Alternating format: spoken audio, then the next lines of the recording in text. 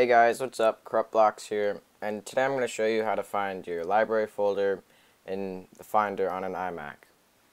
So, I use the library folder to um for a lot of things, especially for like Minecraft.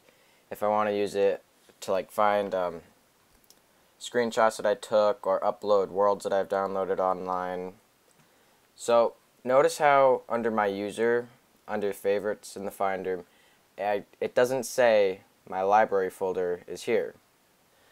So if you want to make it there all the time, instead of having to do shift command G or whatever to search for it, just while you're in your users folders, click view, show view options, and then this box will pop up and you want to select show library folder.